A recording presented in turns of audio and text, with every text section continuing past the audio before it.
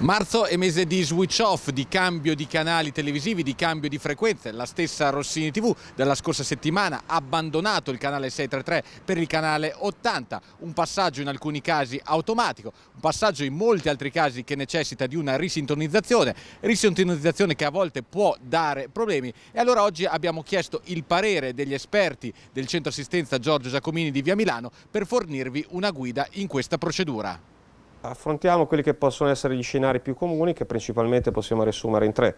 Quindi clienti che hanno vecchi televisori per niente compatibili con il digitale terrestre, che quindi hanno bisogno di acquistare un decoder eh, esterno, clienti che hanno invece un televisore che è parzialmente compatibile o totalmente compatibile, che quindi oggi può essere riutilizzato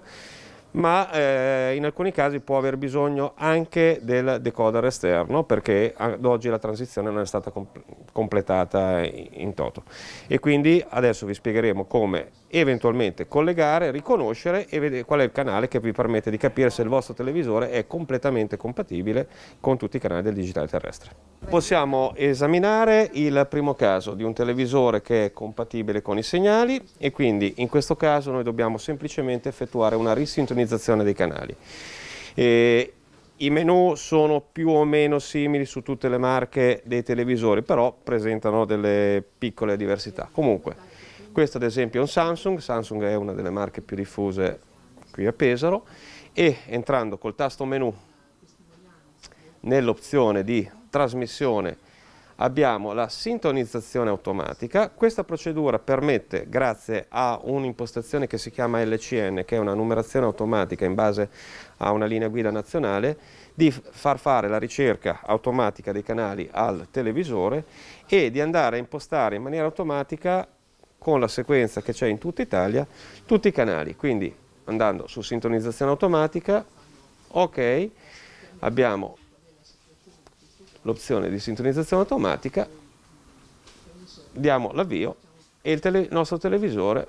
infatti rivediamo ordinamento canali, ordinamento automatico, parte in ricerca e va automaticamente a effettuare la scansione, la ricerca e va a trovare tutti i canali disponibili sul nostro impianto d'antenna.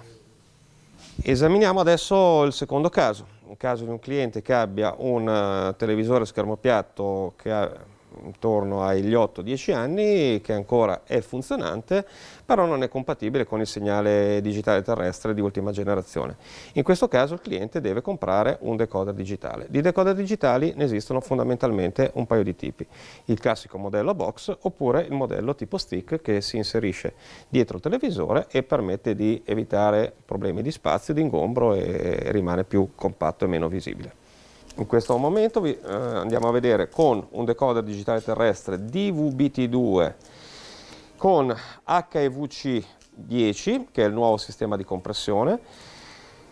ci permette innanzitutto di verificare tramite il nostro televisore andando a selezionare il canale 200, se viene fuori questa schermata di test ci dà la conferma che il nostro televisore è già compatibile, quindi non abbiamo bisogno di comprare il decoder esterno o un televisore nuovo. Nel caso questa schermata non venga fuori, allora dobbiamo collegare il nostro decoder esterno e procedere con la ricerca dei canali. Anche nei decoder la procedura è abbastanza semplice perché entrando nel menu dell'apparecchio andiamo innanzitutto a vedere che è già indicato l'ordinamento dei canali per LCN e entrando nel menu di ricerca dei canali anche qui si va a eseguire la ricerca automatica. Tutti i decoder, come abbiamo detto prima per il televisore, procedono a effettuare la scansione automatica dei canali in base a tutte le frequenze del digitale terrestre e una volta trovati i canali a ordinarli automaticamente secondo quello che è il sistema di numerazione nazionale.